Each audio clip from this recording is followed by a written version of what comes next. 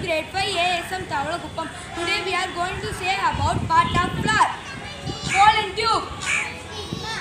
Style. Pollen grains. Filament. Sepal. Stigma.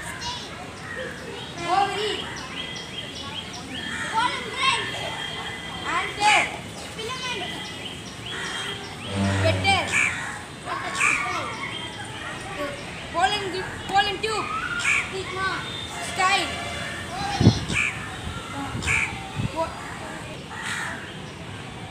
Ball and rings. Answer.